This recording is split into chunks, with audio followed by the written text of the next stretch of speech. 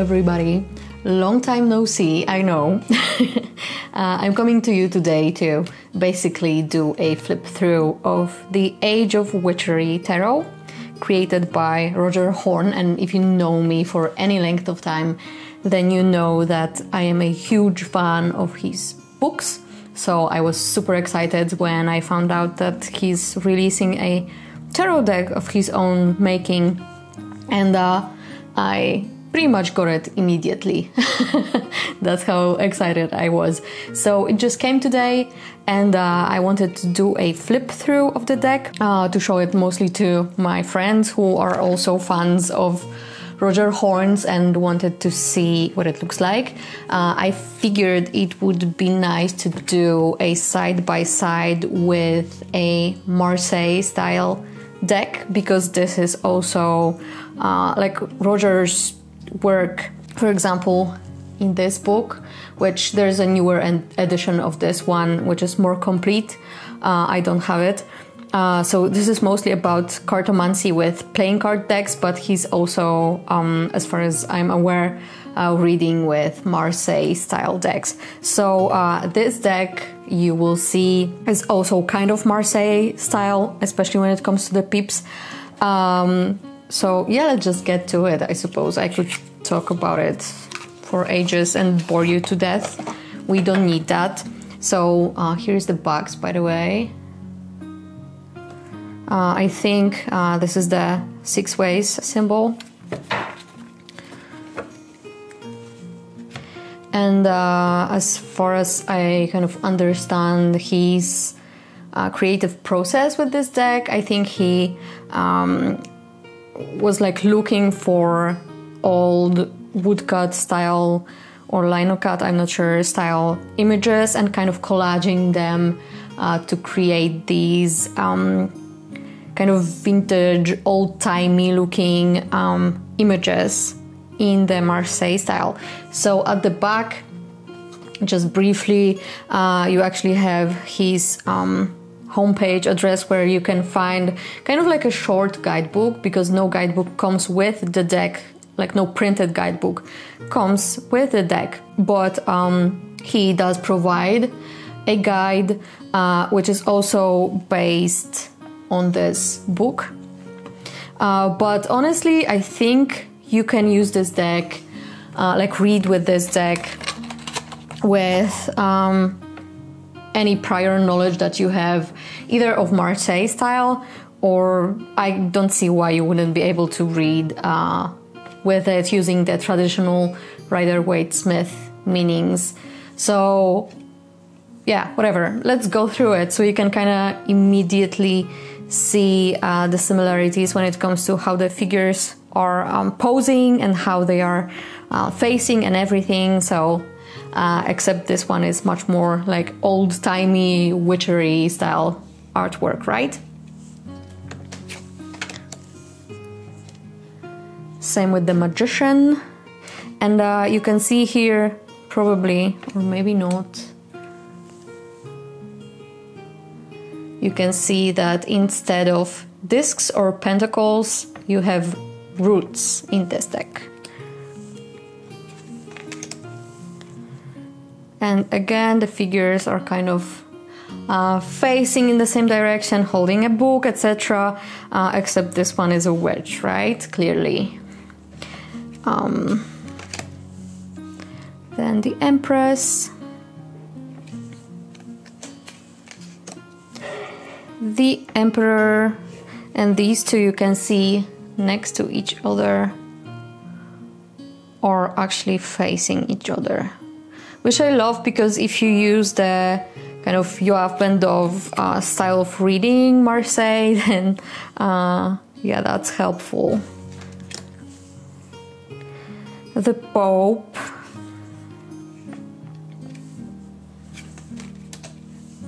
The Lovers. And you can see kind of a horned figure here. So uh, if you are pra a practitioner of traditional witchcraft, this might give you some uh, ideas related to your craft as well. The chariot, of course, we have, um, you know, a devil flying to the Sabbat. justice. It's interesting with the imagery of the two birds, kind of reminds me of some myths of uh, world creation in Slavic mythology, but that's like kind of besides the point. Um, then we have the hermit, the wheel of fortune, and here, of course, you have some imps instead of the usual like.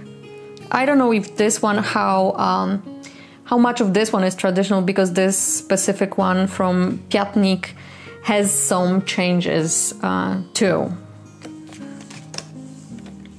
Strength, the Hanged Man, Death, of course, Nameless.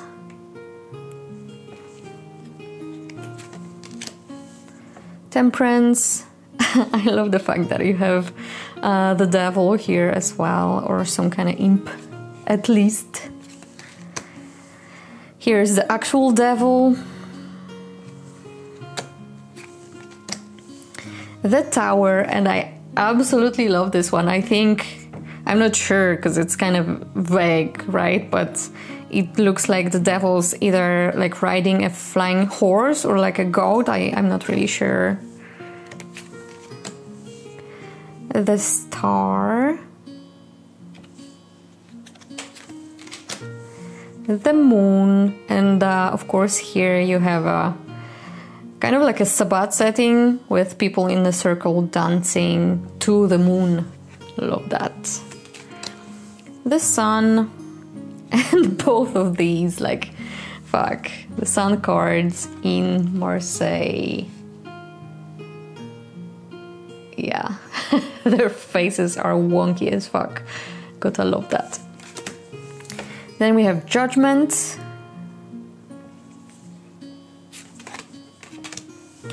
And finally, the world. So you can see that some like basic imagery um, of the kind of four spirits at the four corners, etc., are similar, but also it's not fully traditional Marseille. And then we move on to wands, which here are called rods. Uh, so you can see a typical stang here. I will try to speed up because these are pips, so not much to say here. You can see that it's very minimalistic and in a kind of typical Roger Horne style of drawing that you will see a lot in uh, his books.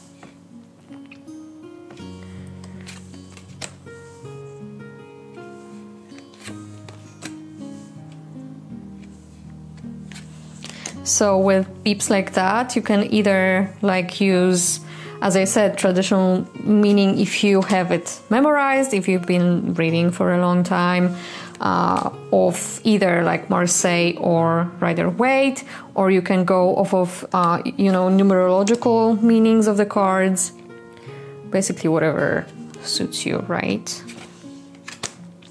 Then we move on to uh, the court cards, and in this deck, actually, all of the courts are wearing masks, which I find really intriguing personally. The knights, the queen, and the king, and all of the kings are horned, if I remember correctly. I just look at the deck briefly before showing it to you. So then we move on to vessels, which is obviously cups or chalices. And again, same thing, it's rather minimalistic.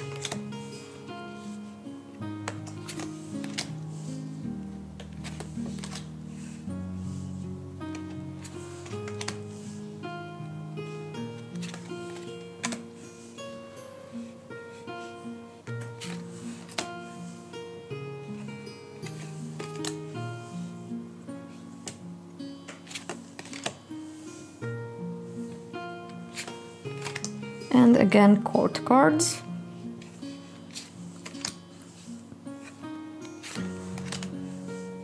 I love this Queen of Vessels, by the way, with a toad and in this witchy hat and with a cauldron. Yeah, she's me, basically. then blades, which is uh, swords,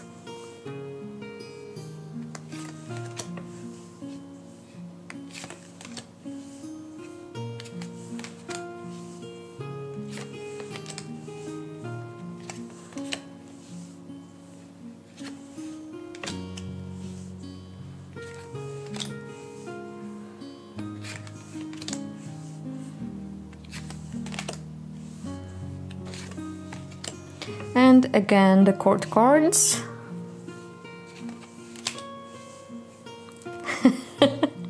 Love this one.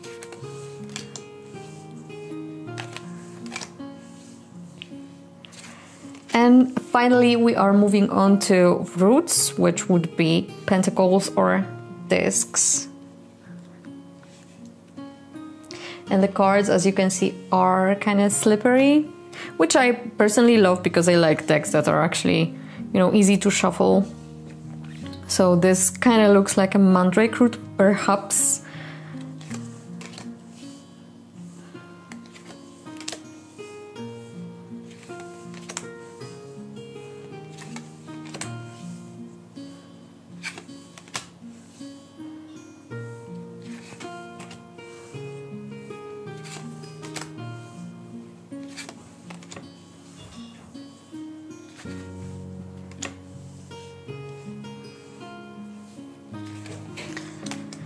and the final set of um, courts which you can see instead of coins they are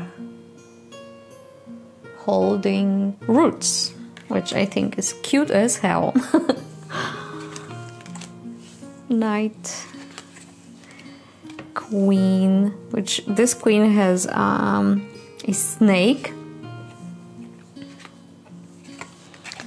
and the king finally. So I'm guessing uh, each of the queens is probably holding some kind of animal, but I only paid attention to the last two. Let's actually check that. So this is the queen of roots.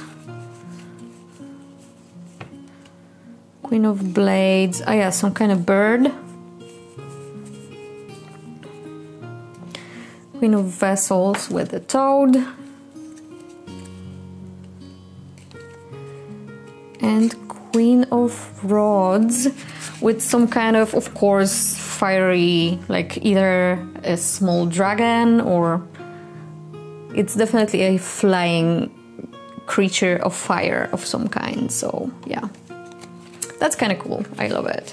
So, as I was saying, the deck is kind of slippery cardstock. It definitely needs to be edged in some kind of like orangey, kind of dirty rust color, which I love by the way. So yeah, that's it. Love it. Thanks for watching.